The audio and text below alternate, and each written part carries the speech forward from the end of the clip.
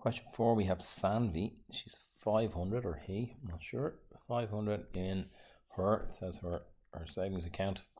She decides now that she has a new job. She's going to put a thousand on January the 1st every year into her account and the bank offers 1%. So whatever she has in her account is going to be whatever she has in the previous year, which is the n minus 1 part, times 1.01 for the compounding and then she is going to put in a thousand at the beginning of the new year.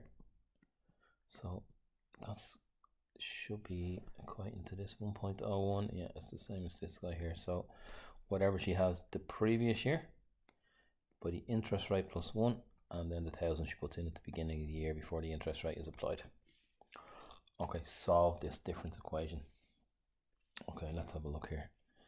If n is equal to 1 a1 is equal to 1.01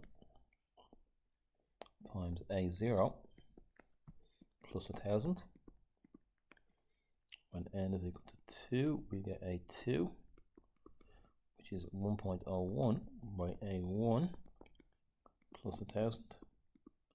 Changing this guy to the one above, we're going to get 1.01 by 1.01 times A0 plus a thousand and we have to bring in this plus a thousand which is going to be 1.01 squared by a0 plus 1.01 by a thousand plus this thousand at the end.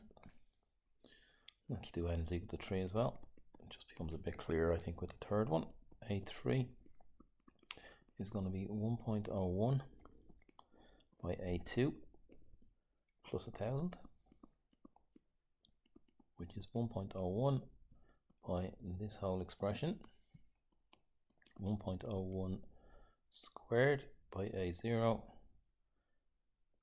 plus 1.01 by a thousand plus a thousand. And then we have to add in this thousand. Should become clear now. That's going to be a3 being 1.01 by 1.01 squared times a0 so that's cubed times a0 plus 1.01 by this guy.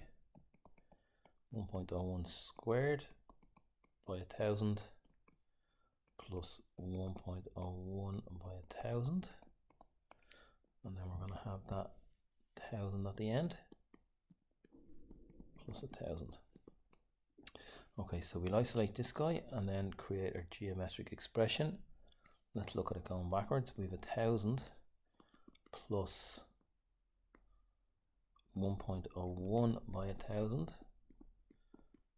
And then the last expression is going to be the 2 in this case, but it'll always be one less than this one. So that's our a thousand, sorry, 1.1.01 power of n minus 1 by a thousand. So our geometric expression a is equal to a thousand, or you can factor out a thousand if you so wish. The ratio is 1.01.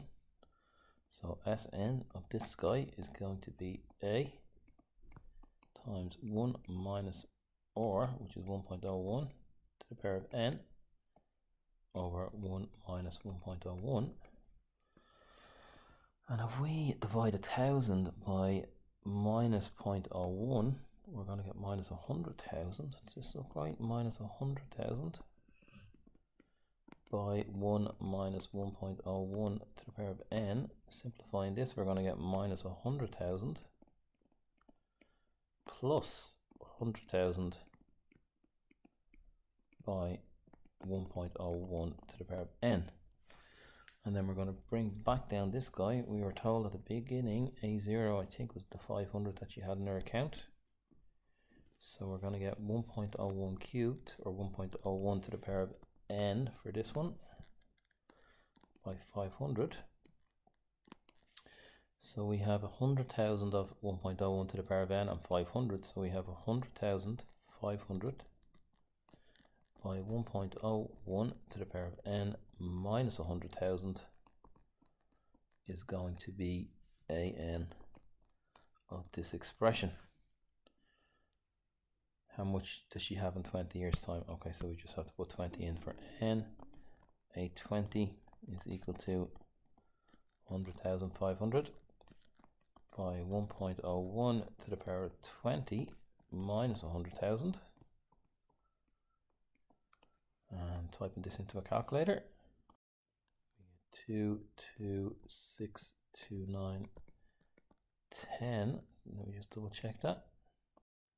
Checking on the calculator twice. We get two two six two nine ten. And that's the end of question four